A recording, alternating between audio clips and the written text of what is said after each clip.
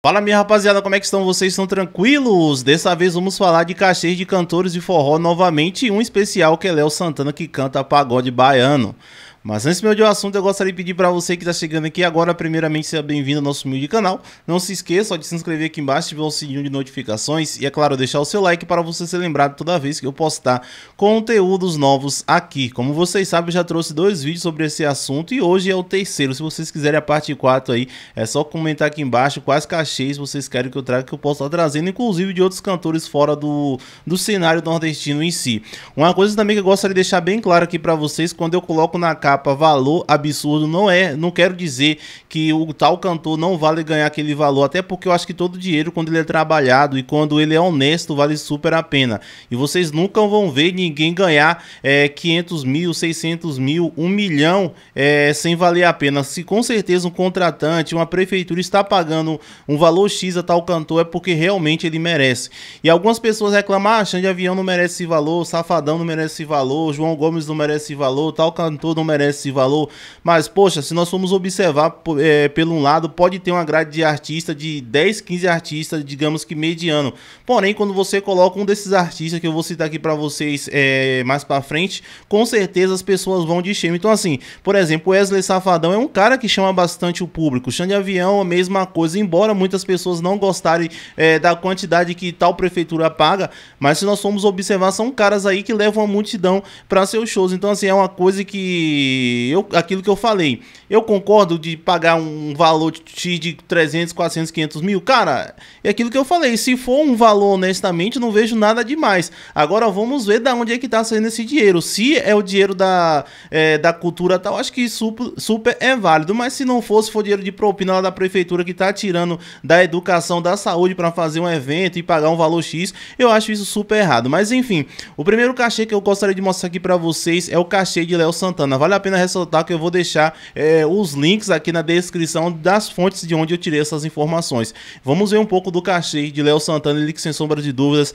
é um dos maiores cantores aí da nossa música baiana. E ele, Xande Avião e Wesley Safadão são um dos maiores cantores nordestinos que nós temos na atualidade. Enfim, vamos ver. Leandro da Silva de Santana em Prota, conhecido nacionalmente como Léo Santana, é um cantor de axé que ganhou destaque nacional através do grupo Arangolé, onde escreveu e lançou a música Rebolation, lançada em 2009 e ganhou destaque em 2010. Com a música Reboleixo, o cantor ganhou fama nacional e decidiu seguir carreira solo em 2014, tendo emplacado diversos sucessos desde então, como Encaixa com MC Kevinho e Invoca com Ludmilla.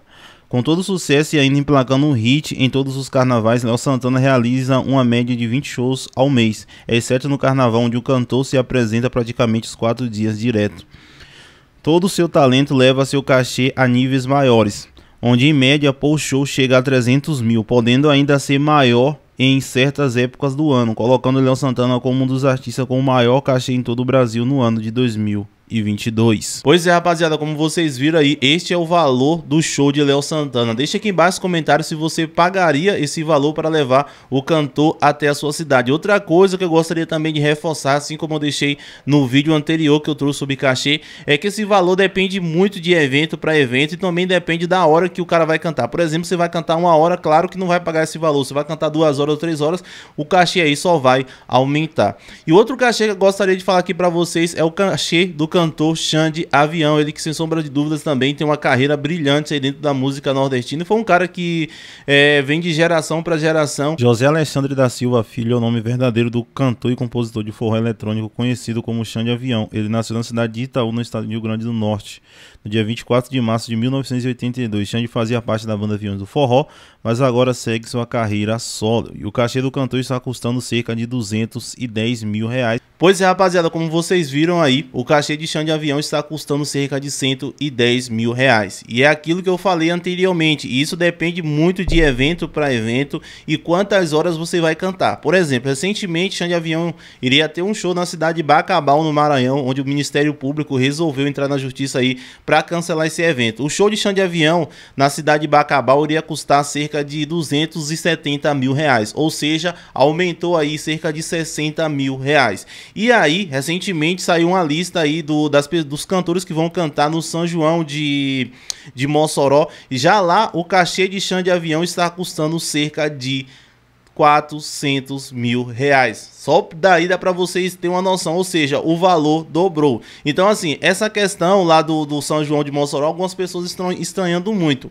Mas deixe aqui embaixo nos comentários se vocês acham que o valor do cachê de chão de avião aí, é, vocês pagariam, se você fosse um contratante, você pagaria 210 mil para ter o show do comandante em seu ambiente? Deixe aqui embaixo nos comentários, pois seu comentário ele é super importante. E o outro cachê que eu resolvi mostrar aqui para vocês é o cachê do cantor Wesley Safadão ele que sem sombra de dúvidas também é um dos maiores cantores da nossa música nordestina, mais precisamente do forró. Wesley Safadão tem muito tempo de carreira e assim, rapaziada, aquilo que eu falei, toda vez que você vê o show de Wesley Safadão, com certeza ele vai levar é, muitas pessoas ao seu evento. Enfim, vamos ver. Com o Covid-19, os cachês de shows de cantores brasileiros acabaram sendo ainda mais valorizados. Com a perspectiva de retomada dos eventos, a expectativa é que cresça ainda mais. O jornalista Léo Dias do portal Metrópolis descobriu quanto custa alguns dos shows mais cobiçado do país. E o domínio da extensa lista do ritmo sertanejo. Os fãs, como se sabe, são, são responsáveis por manter a agenda dos artistas lotadas. E com a alta demanda, eles ficam cada vez mais cobiçados no meio musical. E sempre sai ganhando aquele que paga mais para ter o show em seu evento. O jornalista garante que a lista é atualizada com os números referentes ao ano de 2022 e para que a mesma fosse montada ele conversou com vários empresários do setor de eventos. Veja o ranking completo a seguir.